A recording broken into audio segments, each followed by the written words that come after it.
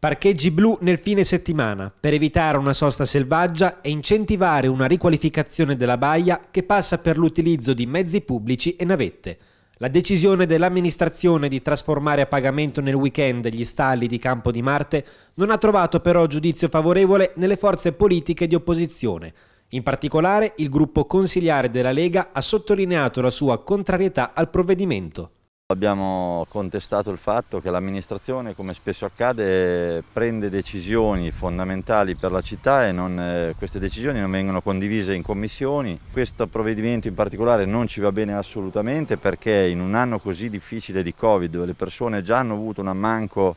dei guadagni, la disoccupazione alle stelle, tutte le varie problematiche, insomma ci sembra a dir poco indelicato se non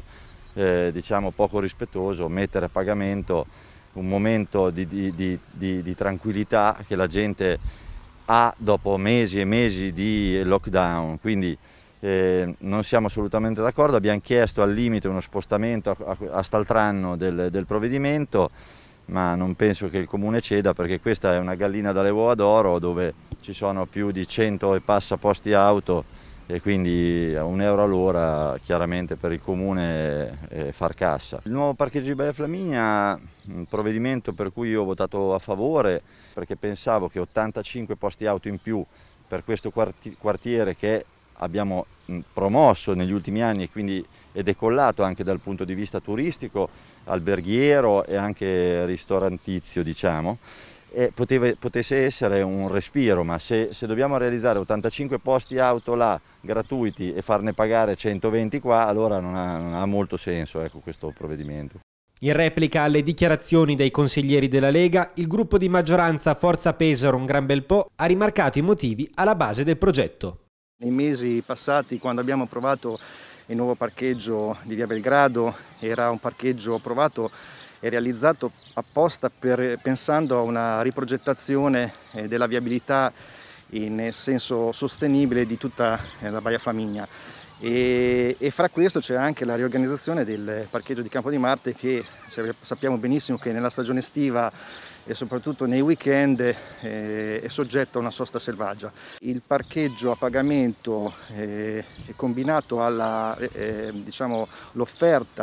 della navetta eh, dal porto a Campo di Marte è eh, uno degli interventi che pensiamo per la riqualificazione eh, di tutta la baia e eh, non è solo legato a questa zona del, del, mare ma come sappiamo anche alla riqualificazione tutta della zona mare eh, di Viale Trieste dove anche lì un nuovo parcheggio, eh, quello di Villa Marina, è stato combinato alla ZTL, quindi vogliamo cercare di rendere eh, la città più fruibile, potenziando il servizio pubblico e cercando di potenziare altre forme eh, di trasporto che sono quelle, eh, la, la, la, la, bicicletta e tutte quelle che, che stiamo valorizzando in questi anni. Insomma. Tra le dichiarazioni e le proposte da parte dei consiglieri comunali della Lega, lo slittamento di questa proposta, di questo progetto di un anno. Sì, anche questa è una cosa che non capiamo bene da, da parte della Lega. Eh, parlano del fatto del timore dell'utenza a prendere i mezzi pubblici, in realtà eh, è la Lega stessa che da mesi spinge per tornare alla normalità, togliere il coprifuoco, eh, non avere più limiti nei ristoranti, quindi eh, non capiamo perché in realtà ci sia un problema in un servizio pubblico che ovviamente eh, viene garantito in sicurezza. Quindi noi eh, non vediamo perché non si debba iniziare da subito, anzi bisogna iniziare subito.